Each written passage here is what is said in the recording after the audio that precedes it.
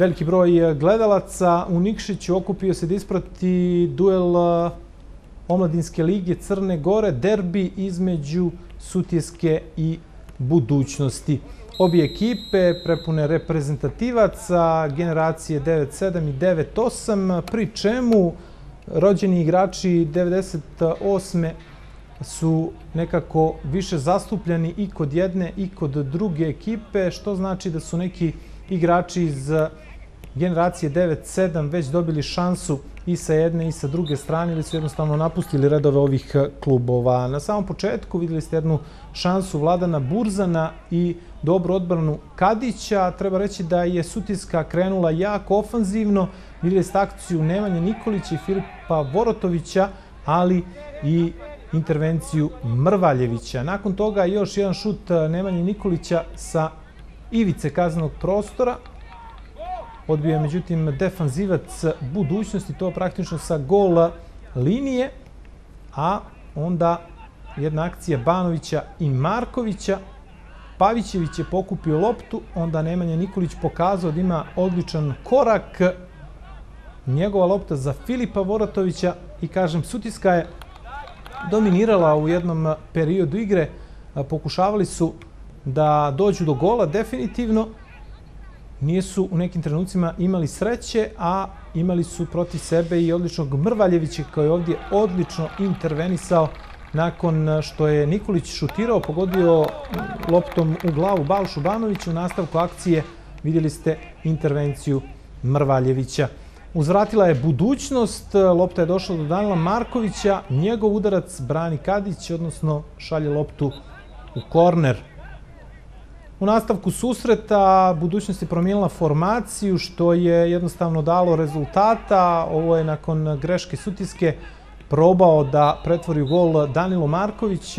Ljutio se Burzan što nije dobio loptu. Nakon kornera upravo Burzana lopta je došla, a vidjet ćete i taj trenutak, do Marka Burzanovića, koji ove godine nema previše utakmica u nogama i koji je iskoristio ovaj meč da se što bolje pripremi za dvomeč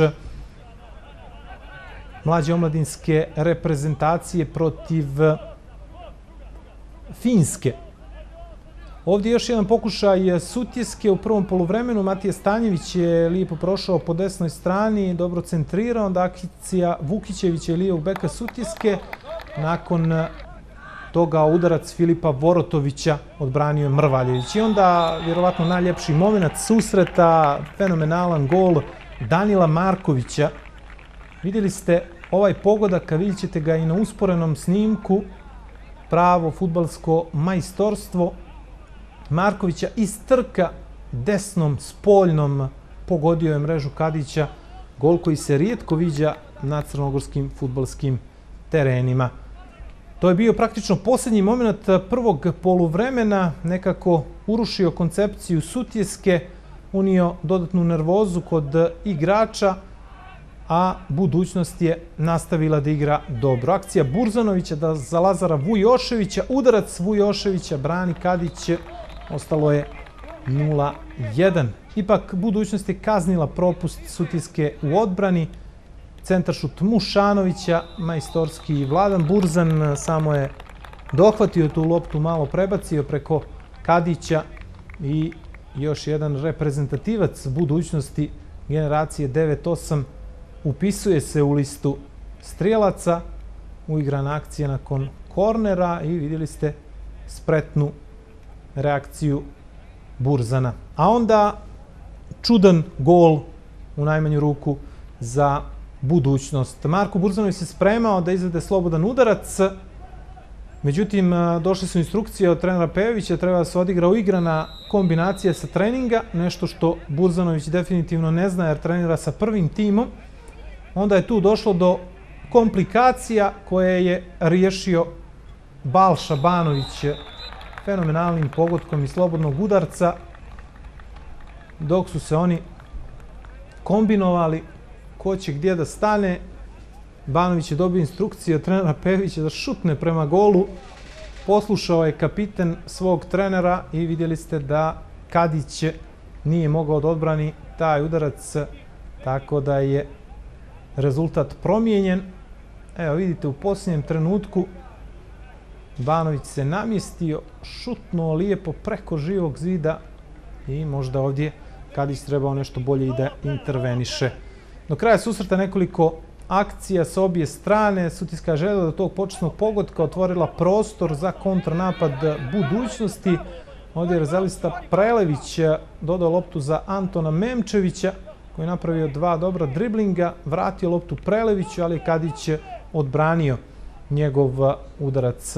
Kažem, do kraja susreta Sutiska je probala da postigne gol, imali su inicijativu, možda i veći posjed lopte, ali budućnost spretno čekala kontranapade. Ovdje akcija Memčevića za Burzanovića, koji još jednom dokazuje da mu fali definitivna utakmica i šteta što ovaj biser crnogorskog futbala nije odigrao više utakmica za omladinski tim, vjerovatno će se to u budućnosti i promijeniti.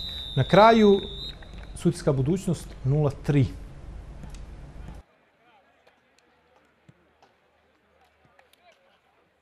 Pa mislim da sama utakmica protekla u prvom polovremenu u nekom izjednačenom ritmu, da tako kažem, nije bilo nekih previše šansi ni na jednoj ni na drugoj strani.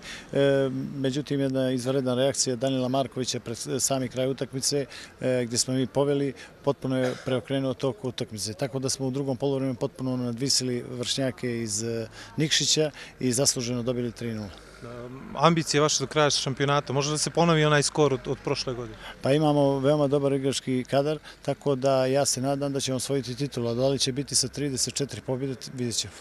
Mislim da, da smo parirali, parirali dobrom protivniku 44 minuta, da smo čak i povremeno bili bolji protivnik, nijesmo iskoristili par pozicija i znate kako, vrati se, primimo gol u, u, u najgore momentu, i jednostavno nismo mogli, nismo mogli da se vratimo. Kako su ambicije ove ekipe do kraja šampionata? Da li mislite da možete parirati eventualno budućnosti, to uvijek je opasna mladost? Pa mislim da ćemo se mi iz treninga u trening e, dizati, iz utakmice u utakmice isto tako i mislim da ova ekipa može puno, puno više. Vrlo teško, borbeno, prešli smo dva gola, prvi gol u zadnjem minutu i sad iz ovoga slobodnog udarca koji su premili, koji je golman tikiksao, ali sve u svemu borbeno, nadigrala nas igra budućnost u drugom poluvremenu.